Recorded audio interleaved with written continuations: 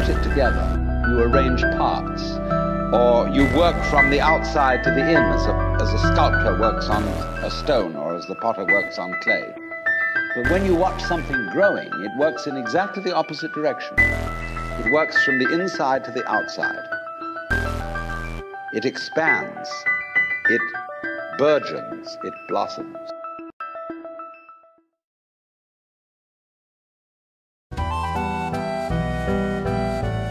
Surrealism began in 1924 in Paris, in this cafe, with this poet, Andre Breton. Note the hair. Surrealists have luxuriant hair.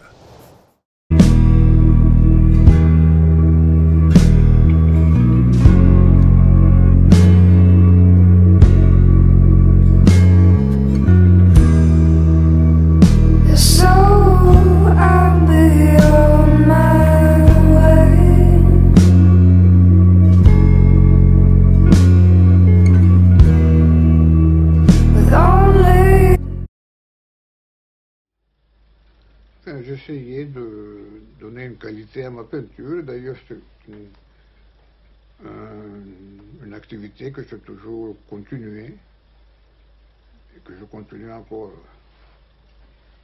Qu'est-ce finalement que la grande peinture? Don't